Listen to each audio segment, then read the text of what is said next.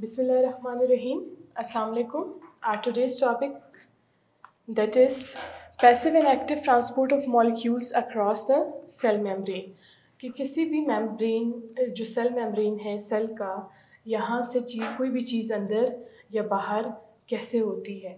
किस किस्म की मूवमेंट्स हैं, जो, जिसके वजह से कोई भी मॉलिक्यूल सेल के अंदर आता है या सेल से बाहर जाता है? The very first type of movement of the molecule that is diffusion is movement of molecules from area of higher concentration to an area of lower concentration diffusion क्या चीज़ है ऐसी movement है molecules की जिसमें molecules अपने area of higher concentration से उस तरफ़ मूव करते हैं जहाँ उनकी कंसनट्रेशन लो हो what does the word higher concentration means जहाँ उन मॉलिक्यूल्स की तादाद ज़्यादा है, जहाँ वो मॉलिक्यूल्स नंबर्स में ज़्यादा है, उस एरिया को हम कहेंगे the higher concentration of that molecule ठीक है? अब कोई ऑक्सीजन गैस है, उसने डिफ्यूज़ कैसे होगा कि वो जहाँ पे ऑक्सीजन गैस की मॉलिक्यूल ज़्यादा है, वहाँ से ऑक्सीजन सेल मॉलिक्यूल में मूव करेगा, उस तरफ़ जाएगा जहाँ ऑक्सीजन मॉलिक्यूल्स की तादाद कम है।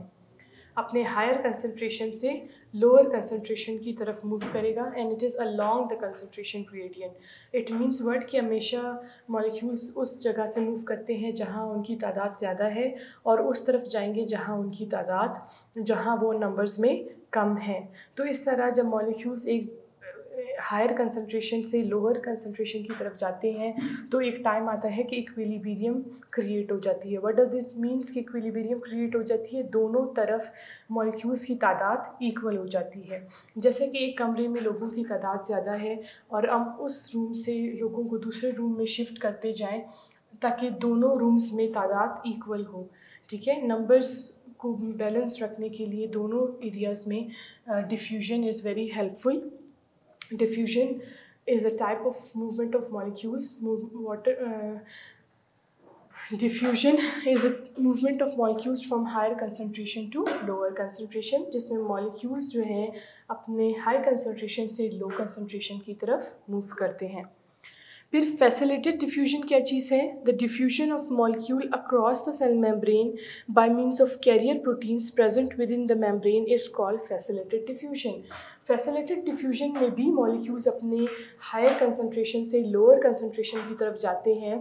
और यहाँ पे डिफ्यूजन में एक और बात इंपॉर्टेंट है कि there is no use of energy for the movements of molecule molecules अपने ही जो काइनेटिक उनकी एनर्जी है, उसे इस्तेमाल करके एक जगह से दूसरी जगह मूव करते हैं। इनको और एक्सटर्नल कोई भी केमिकल एनर्जी की ज़रूरत नहीं पड़ती in passive transport that's why it is known as a type of passive transport because यहाँ पे यूज़ ऑफ़ एनर्जी नहीं है। मॉलिक्यूल्स अपने हायर कंसनट्रेशन से लोअर कंसनट्रेशन की तरफ़ मूव करते हैं।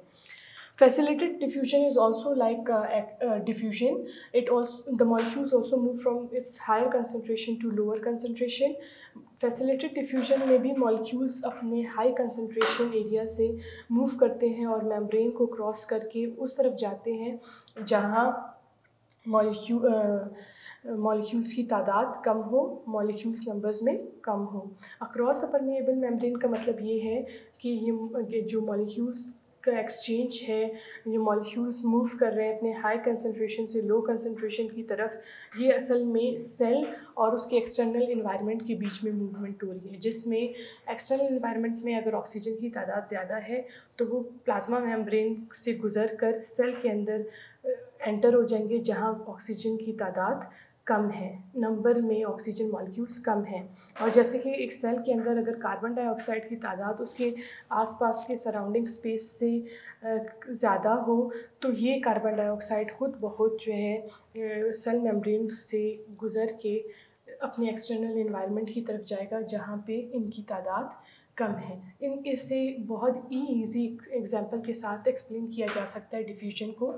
कि अगर रूम के किसी एक कॉर्नर में हम स्प्रे कर दें तो आस्ता आस्ता में सारे जो स्प्रे के मॉलिक्यूल्स हैं, वो पूरे कमरे में फैल जाएँगे।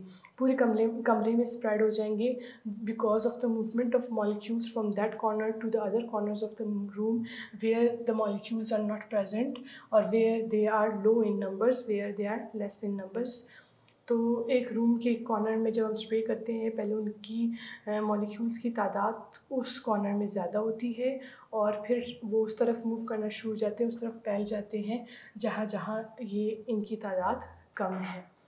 तो इसे डिफ्यूजन कहा जाता है। फैसिलिटेड डिफ्यूजन क्या चीज़ है? Facilitate the word facilitate means help मदद करना, ठीक है?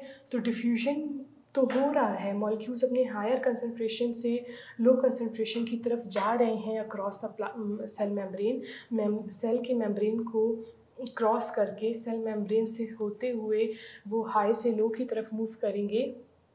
जहाँ उनकी तादाद ज़्यादा है, वहाँ से मॉलिक्यूल्स मूव करना शुरू करेंगे और उस तरफ़ जाएँगे जहाँ इनकी तादाद कम है।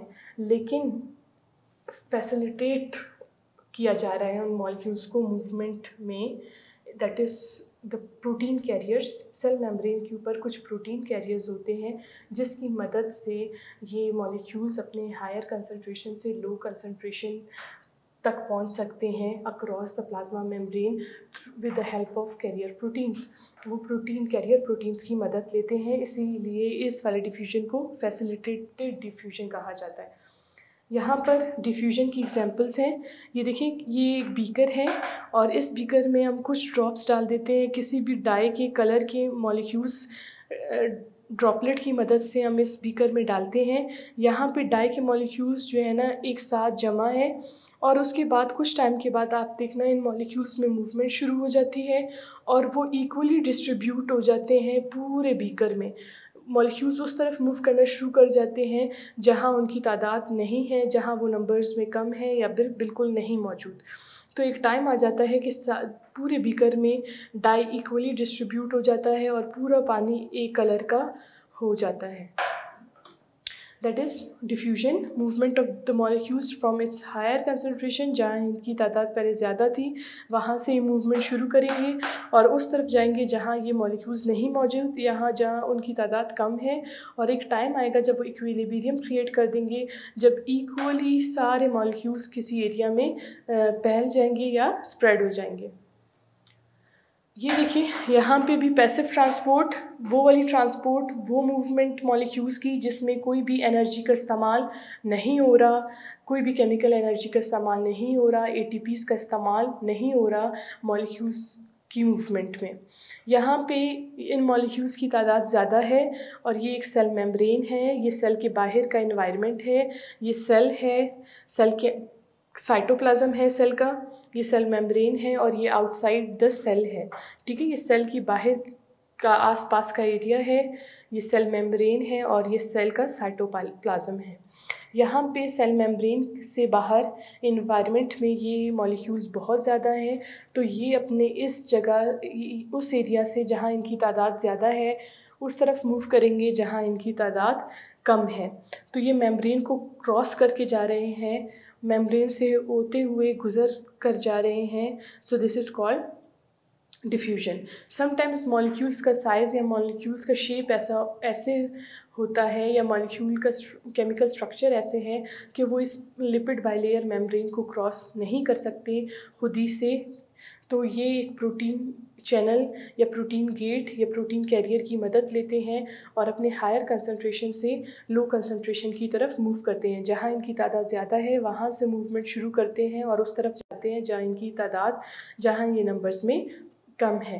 यहाँ पर देखें their number of molecules outside the cell their concentration is very high there and they move towards the area where their concentration is low and from their higher concentration they are moving towards the area where their concentration their number is low but with the help of this carrier protein ये carrier gate है channel है आप इसे कोई भी नाम दे सकते हो जो प्लाज्मा मेम्ब्रेन में मुख्तलिफ़ प्रोटीन्स मौजूद है जो एक गेट का काम करते हैं एक चैनल का काम करते हैं जिससे गुजर कर मॉलिक्यूल्स अंदर सेल में एंटर हो सकते हैं now this is again an example of diffusion जब यहाँ पे हमारे पास एल्वोलाई हमारे लंग्स का एक हिस्सा है, ठीक है? एल्वोलाई में जब लंग्स में बहुत ज़्यादा ऑक्सीजन एंटर हो जाता है व्हेन वी इनहेल ठीक है? जब हम इनहेल करते हैं, हम ऑक्सीजन मुख्तलिफ़ गैसेस को अंदर लेकर जाते हैं ब्रीथिंग के प्रोसेस में, सांस जब हम लेते हैं तो हम मुख्तलिफ़ गैसेस जो हैं वो हम इनहेल कर लेते हैं, अंदर लेकर जाते हैं और लंग्स में जब यहाँ पे ऑक्सीजन की तादाद ज़्यादा होती है और ये जो, इस सेल्वुलाई के इर्द गिर्द जो ब्लड कैपलरीज़ या ब्लड वेसल्स मौजूद हैं, इसमें ऑक्सीजन की तादाद, यहाँ ऑक्सीजन की तादाद कम है। तो ऑक्सीजन इस मेम्ब्रेन से होते हुए एल्वुलाई से ब्लड में चला जाएगा, ठीक है? लंग्स में से ऑक्सीजन ब्लड में एंटर हो जाएगा। और इस तरह जब ये कार्बन डाइऑक्साइड की तादाद यहाँ पे ब्लड में ज़्यादा है और यहाँ लंग्स में कम है तो ये जो ब्लड से कार्बन डाइऑक्साइड मूव करेगा मेम्ब्रेन्स को क्रॉस करते हुए, उस तरफ़ जाएगा जहाँ इनकी तादाद कम है लंग्स में जाएँगे। ऑक्सीजन लंग्स से ब्लड में और ब्लड से कार्बन डाइऑक्साइड निकल कर लंग्स में, क्योंकि लंग्स में कार्बन डाइऑक्साइड की तादाद कम थी और ब्लड में ज़्यादा थी। तो कार्बन डाइऑक्साइड मॉलिक्यूल्स ने मूवमेंट्स शुरू की अपनी हायर कंसंट्रेशन से एरिया जहाँ भी उनकी तादाद ज़्यादा थी और उस तरफ़ मूव किया जहाँ वो नंबर्स में कम थे, जहाँ उनकी तादाद कम थी। तो इस तरह ऑक्सीजन को हम ब्लड में एब्जॉर्ब करते हैं और कार्बन डाइऑक्साइड ब्लड से बाहर आता है इनटू द लंग्स और जब हम वापस एक्सेल करते हैं इनहेल एक्सेल ठीक है? तो जब हम गैसेस को वापस निकालते हैं बॉडी से ड्यूरिंग ब्रीथिंग सांस लेने के प्रोसेस में, जब हम लोग गैसेस को वापस निकालते हैं तो ये जो कार्बन डाइऑक्साइड जो एक वेस्ट मटेरियल है that can be harmful for the living organisms तो इस तरह ये हमारी बॉडी से बाहर आ जाता है, या फिर किसी भी एनिमल की बॉडी से इस तरह डिफ्यूजन के ज़रिए वो ब्लड में से लंग्स में आता है, और फिर जब एक्सेल का प्रोसेस होता है, जब हम लोग गैसेस को बाहर निकालते हैं तो उसमें ये कार्बन डाइऑक्साइड हमारी बॉडी के अंदर से बाहर इन्वायरमेंट में आ जाता है। So this was an example of diffusion then comes osmosis osmosis क्या चीज़ है? ऑस्मोसिस भी डिफ्यूजन की तरह मूवमेंट है from higher concentration towards low concentration लेकिन मॉलिक्यूल्स की for water molecules specially water molecules के लिए, जो पानी के मॉलिक्यूल्स हैं एच टू ओ उनकी मूवमेंट के लिए वर्ड ऑस्मोसिस यूज़ हुआ है। ठीक है, जो वर्ड ऑस्मोसिस है, वो वाटर के लिए यूज़ हुआ है, पानी के लिए यूज़ हुआ है। जब पानी अपने हायर कंसनट्रेशन से लो कंसनट्रेशन की तरफ़ मूव करते हैं, पानी हमेशा जहाँ उनकी तादाद ज़्यादा है, जहाँ वाटर मॉलिक्यूल्स की तादाद ज़्यादा है, जहाँ वो नंबर्स में ज़्यादा है, वो वहाँ से मूव करेंगे और उस तरफ़ जाएँगे जहाँ उनकी तादाद कम है, जहाँ वो नंबर्स में वाटर मॉलिक्यूल्स कम हैं। अब ऑसिस ऑस्मोसिस में एक और चीज़ है जिस पे कंसंट्रेट करना बहुत ज़रूरी है कि पानी अक्सर उस तरफ़ जाता है जहाँ उनकी तादाद कम हो वाटर मॉलिक्यूल्स की, और उस तरफ़ जाएगा जहाँ सॉल्ट कंसंट्रेशन ज़्यादा हो comparative to water molecules salt can be sugar can be solute can be a sugar और अ सॉल्ट ठीक है? जहाँ सल्यूट की कंसंट्रेशन ज़्यादा हो, जहाँ नमक या शुगर इस तरह के मॉलिक्यूल्स की तादाद ज़्यादा हो तो पानी उस तरफ़ जाएगा। ठीक है? क्योंकि पानी की नस्बत वहाँ पे शुगर या नमक ज़्यादा तादाद में है या सल्यूट ज़्यादा तादाद में है तो पानी अक्सर उस तरफ़ जाएगा जहाँ पे सॉल्ट्स या शुगर की तादाद ज़्यादा हो। और अपने हाई कंसनट्रेशन से लो कंसनट्रेशन की तरफ़ पानी की मूवमेंट है। Osmosis is the net movement of water across a semi permeable membrane from an area of lower concentration of solute to an area of higher concentration of solute. ठीक है? Osmosis क्या चीज़ है? Movement of water molecules across semi permeable membrane जो plasma membrane है हमारा, वो semi permeable है, वो कुछ मॉलिक्यूल्स को अपने अंदर से गुजरने देता है और कुछ मॉलिक्यूल्स को, अक्सर बड़े मॉलिक्यूल्स को अपने अंदर से पास होने नहीं देता। यह डिपेंड करता है चार्जेस पे कि कौन से मॉलिक्यूल्स वो प्लाज्मा मेम्ब्रेन को क्रॉस कर सकते हैं और कौन से मॉलिक्यूल्स प्लाज्मा मेम्ब्रेन को क्रॉस नहीं कर सकते। तो ये वाटर मॉलिक्यूल्स जो पानी के मॉलिक्यूल्स हैं, वो अक्सर जो है, उस तरफ़ मूव करेंगे सेल के अंदर आएँगे या सेल से बाहर जाएँगे, जहाँ पानी की तादाद कम हो। अगर सेल के बाहर पानी की तादाद कम है, पानी की, के मॉलिक्यूल्स की तादाद कम है एच टू ओ की तादाद कम है तो पानी सेल में से बाहर जाएगा। अगर बाहर इन्वायरमेंट में वाटर मॉलिक्यूल्स की तादाद ज़्यादा है तो पानी बाहर से सेल के अंदर आएगा membrane cell membrane plasma membrane से गुज़रते हुए। तो